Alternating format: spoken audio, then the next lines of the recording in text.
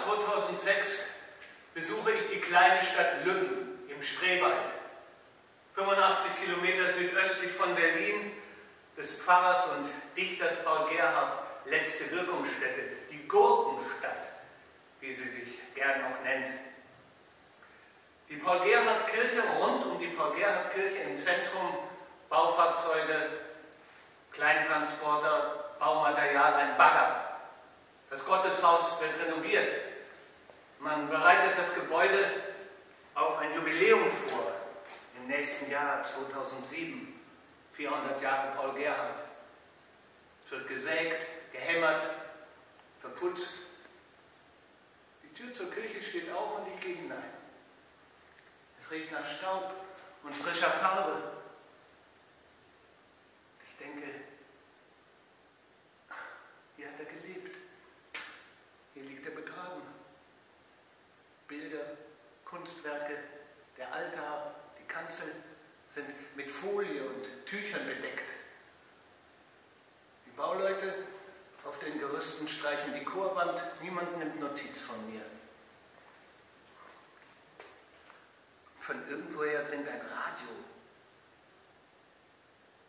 Über Paul Gerhards Grab klingt Antenne Brandenburg.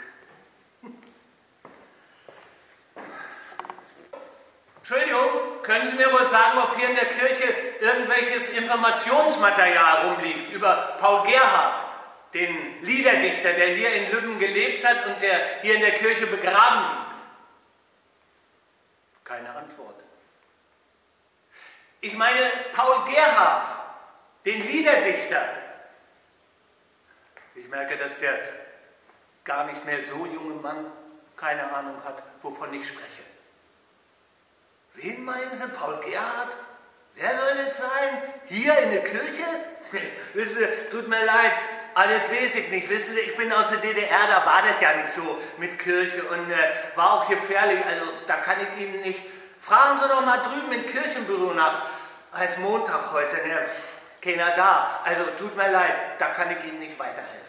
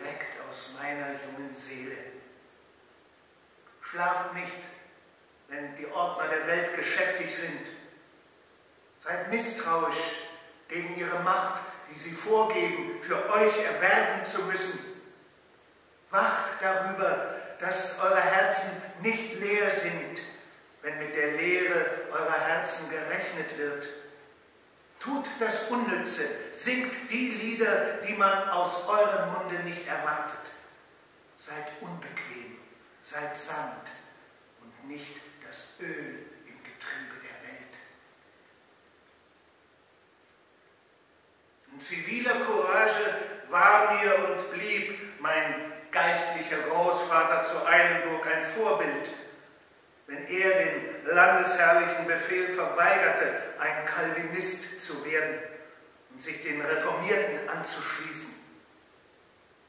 Er wurde des Dienstes als Superintendent enthoben und des Landes verwiesen und predigte doch auf freiem Felde vor seiner Bürgerschaft.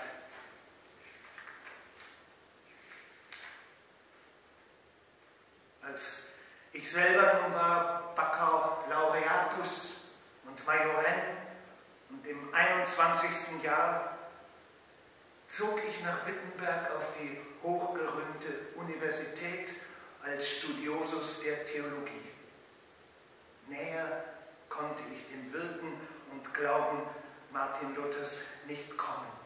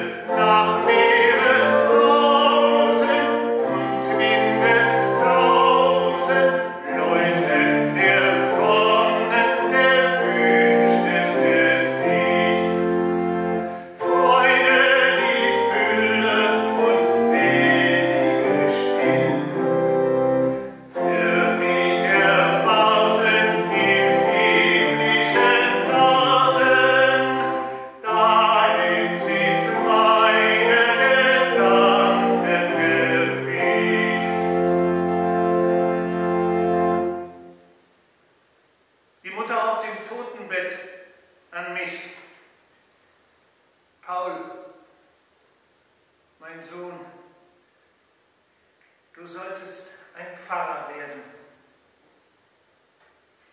Und so tat ich's ihr und mir und wohl auch dem Himmlischen zulieb. Wovon aber leben in der Zeit davor, wenn es nicht nur vom Brote sein sollte allein? Und so nahm ich einen Erwerb als Hauslehrer beim Oberpfarrer der Wittenberger Stadtkirche an. In Wittenberg nun wurde mir der Grund gelegt für den Glauben an die sorgende Liebe Gottes. Er redet mit uns durch sein Wort und wir reden mit ihm durch Gebet und Lobgesang.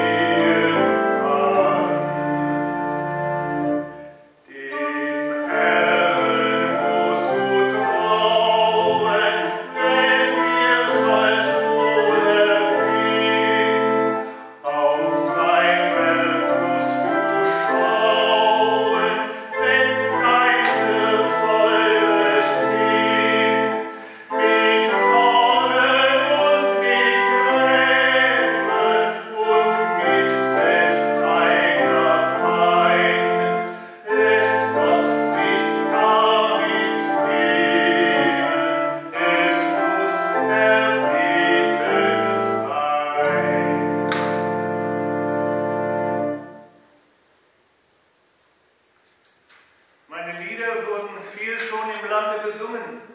Ganze Bücher waren davon gedruckt. Ich war im 40. Jahr und immer noch schwamm ich in unsicherer Existenz. Und da kam mir ein Ruf aus Berlin, Hauptstadt Brandenburgs und seines kurfürstlichen Herrn. Auch Berlin, vom Krieg zerstört, der Friede ließ von 12.000 nur 5000 Seelen am Leben. Aber doch war mir dieses große Glück. Prediger an St. Nikolai. In Berlin wurden mir Glück und Gnade für mein Gebet. Wenn die Seele wie ein irres Licht flackert zwischen Werden und Vergehen, wenn es mir an Trost und Rat gebricht, wollest Gott du an meiner Seite stehen. Wenn ich deine Hand nicht fassen kann, nimm die meine du in deine Hände. Nimm dich meiner Seele gnädig an. Führe mich zu einem guten Ende. Aber werde ich als Pfarrer und Seelsorger genügen, den Menschen Zweifel, Zweifel, Zweifel. Bin ich doch eher ein Dulder, denn ein Kämpfer, eher ein, ein Glaubender, denn ein Revolutionär. Es wirkte nun aber an, an St. Nikolai ein, ein wunderbarer, ein, ein begnadeter Mann als Organist. Johann Krüger, er, er begeistert.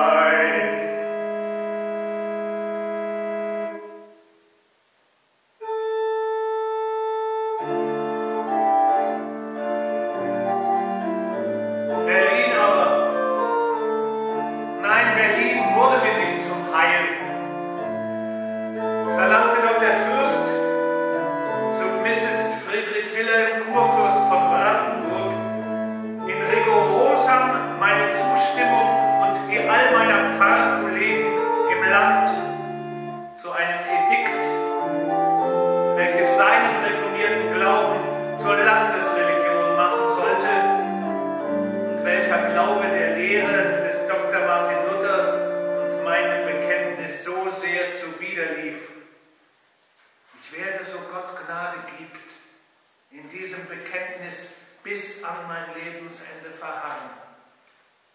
Amen. Wes Brot ich esse, des Lied ich sing. Ja, der Kurfürst will segeln, sein Land jedermann öffnen und ganz auf den Kopf stellen. Wir Lutheraner Land gewinnen. Nein, nein, nein. Ich konnte und konnte diesem Edikt nicht zustimmen und mich dem Fürsten unterwerfen und sollte alsbald aus meinem Amt und Verdienst verschwunden werden und viele mit mir. Es gerät nun noch in dieser schweren Zeit mein liebes Weib ans Sterben und sprach, halte du aus, mein Paul, und schäme dich des Evangeliums Christi nicht. Man soll Gott mehr gehorchen als den Menschen. Gott segne dich. Und so ging ihr Atem aus. Ich danke dir, mein Herz, Thank you.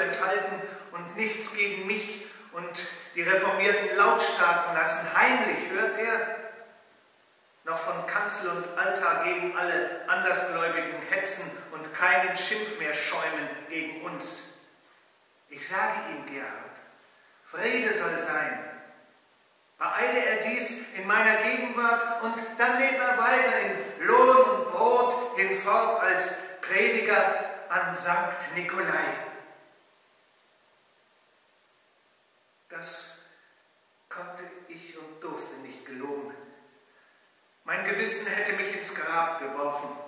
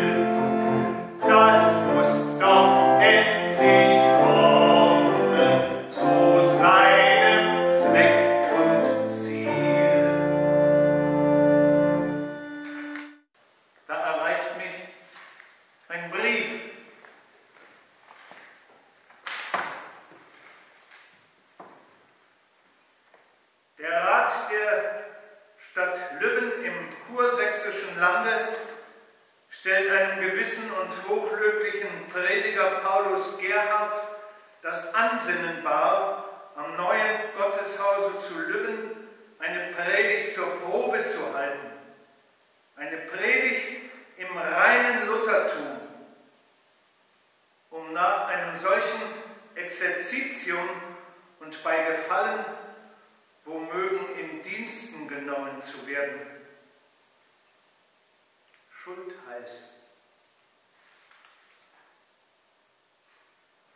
Mit einem gewöhnlichen Pferdewagen werde ich abgeholt, auf den man einen Sessel gestellt. Aber ich bin nicht zimperlich. Auf dem Bock ein Kutscher, der sich nicht einmal nach mir umdreht. Eine lange Reise zwischen Berlin und Lübben und eine sehr schweigsame dazu. Paul Gerhardt den Namen hatte der Kutscher nie gehört, meine Lieder kennt er nicht.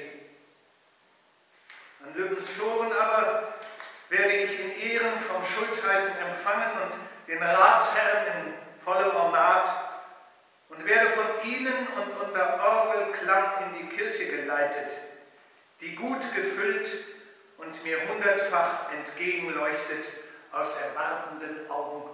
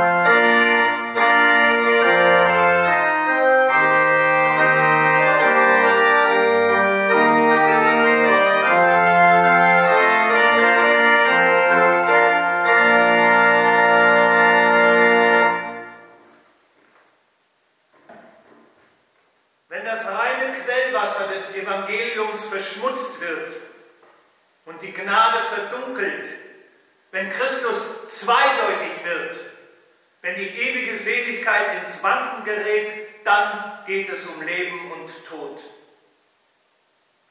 Das Bekenntnis, in welchem man von Jugend auf vor Gott und der Welt gewandelt hat und wovon der Heilige Geist uns täglich Zeugnis gibt, solch ein Bekenntnis hinzugeben, weil ein anderes von der Obrigkeit verordnet ist, vom Könige, das ist ein hartes und mir unmögliches Werk. Darum stehe ich vor euch als ein Vertriebener. Amen.